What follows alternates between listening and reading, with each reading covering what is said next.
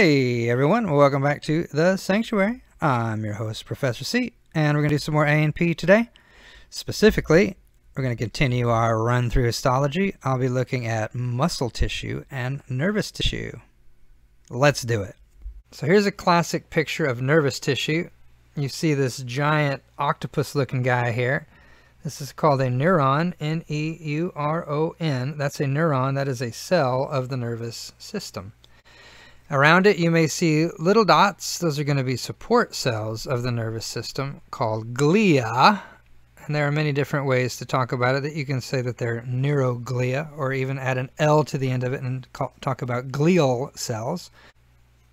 Nerves are different than neurons. I want to be clear here. Neurons are the cells, like I see here in this picture. That's not a nerve, though. A nerve is not going to be shown anywhere on this talk. We'll save nerves for much, much later. It's a bundle of neurons that's wrapped in connective tissues.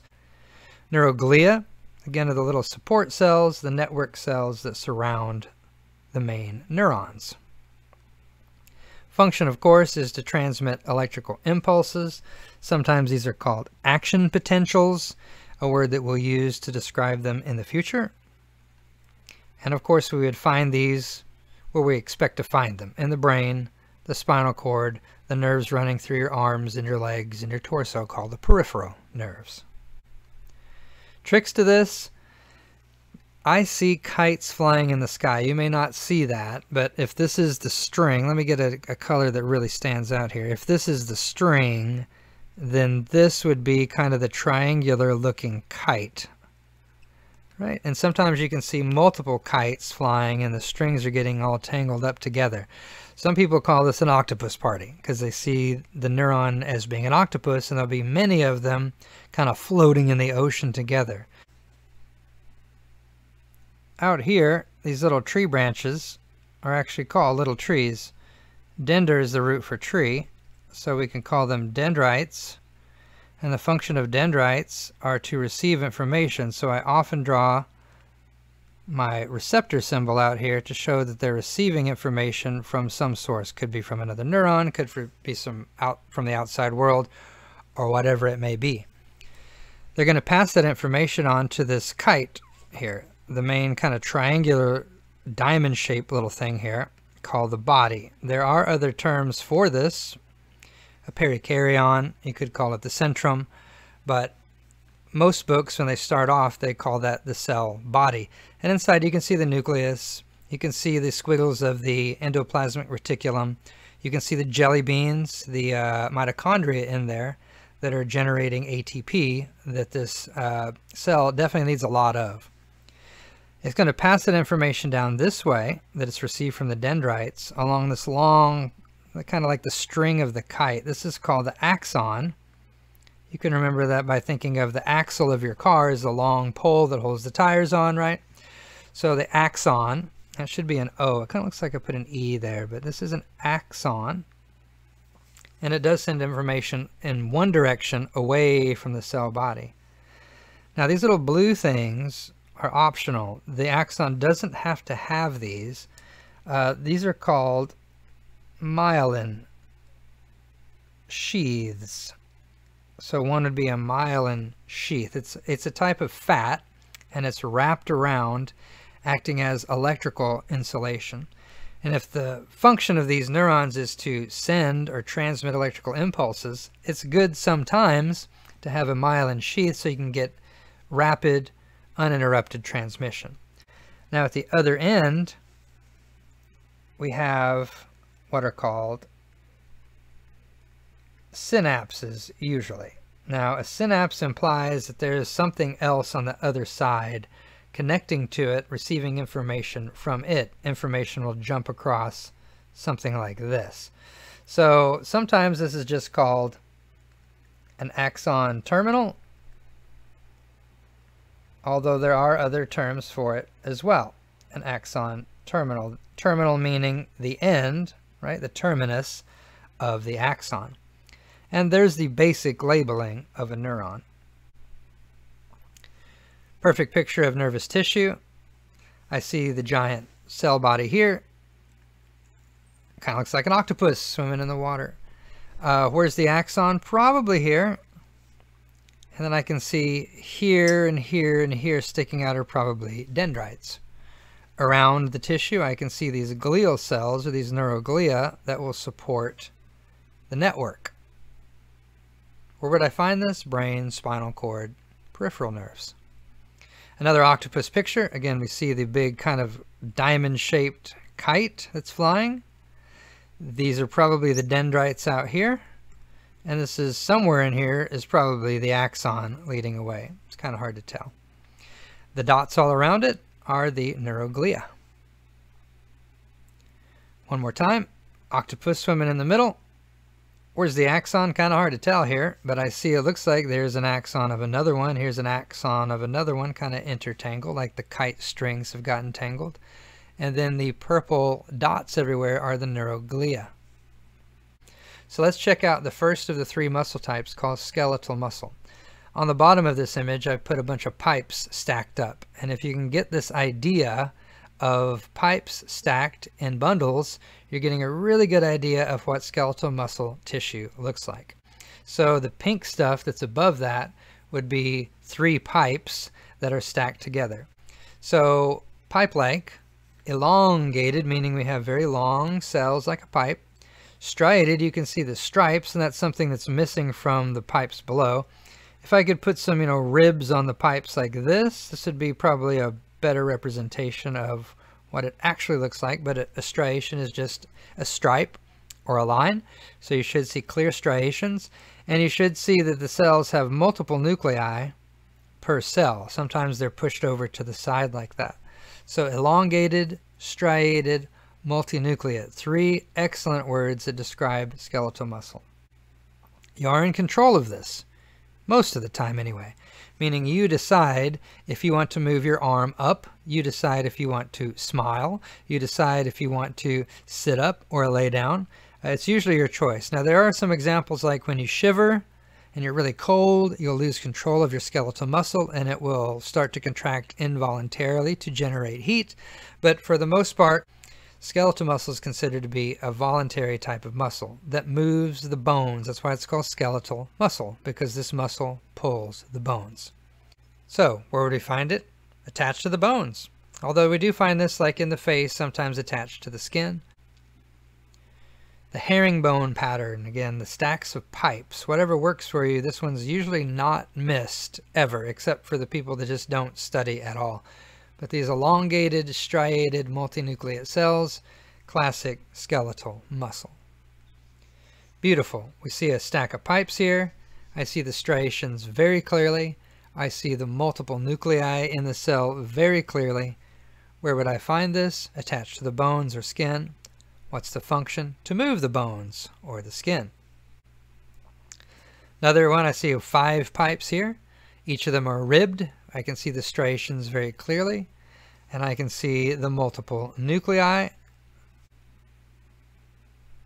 Cardiac muscle.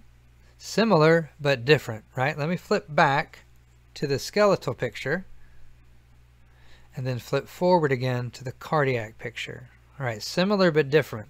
So let's talk about similarities. Well, I see striations. I still see the striations, but that's about it. Let's see what's different now from the skeletal muscle. Bifurcations. Very hard to see in many of the pictures. If I can get like a yellow here, that tissue looks like it's making a Y. It's split. then right here it's split again. That's a bifurcation. A bifurcation is a forked tongue or a forked tail, like a bird with a bifurcated tail or a snake with a bifurcated tongue. Bifurcation just means that it splits into Ys. On really good pictures, you can see this. When the tissue's all smushed together, it's harder to see the bifurcations. But cardiac muscle is striated and bifurcated. It's still multinucleate, but the giveaway, the absolute giveaway that I'm looking at cardiac muscle, that is muscle that, that's inside the heart,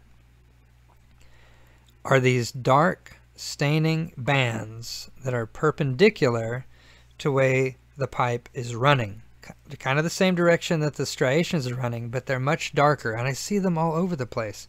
Those are called intercalated discs. Some people pronounce them intercalated discs. Potato, potato, in my opinion. If you can spell it and get it right on a test, it doesn't matter how you say the word. So there are some intercalated discs. This is going to ensure that we get good electrical signal passed from one neighbor to another. We don't want some of the heart contracting when it's time to contract. We don't want some of the heart beating. We want the whole thing to beat in a rhythm. So we have to communicate with the cells around it using these intercalated discs.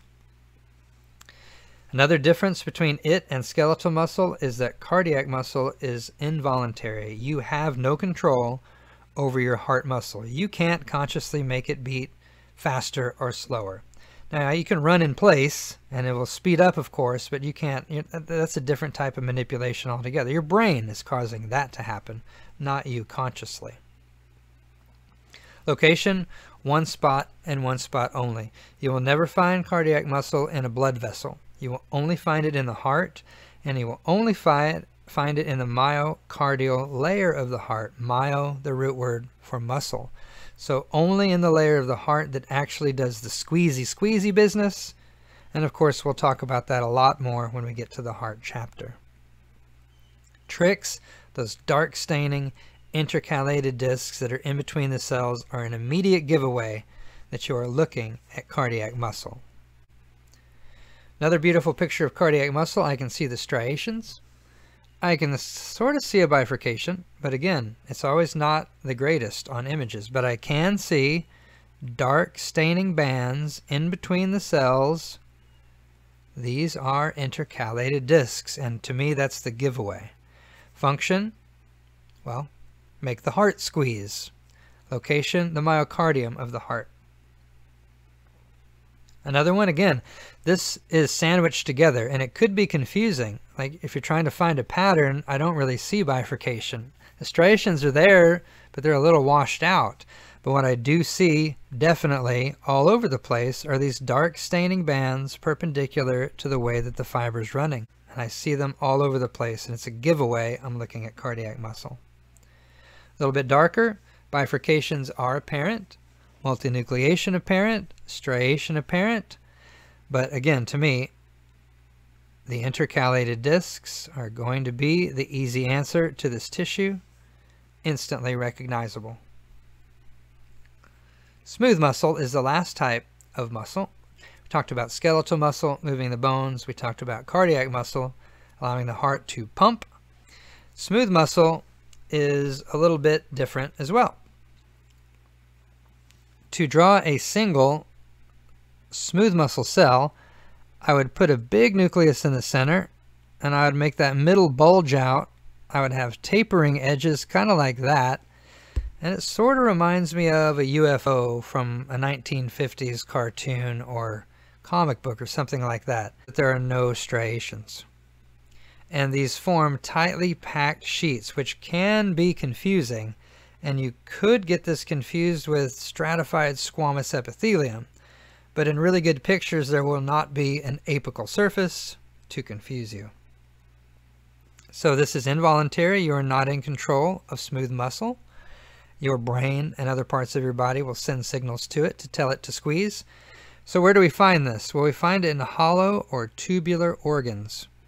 And this allows us to push material through those hollow or tubular organs.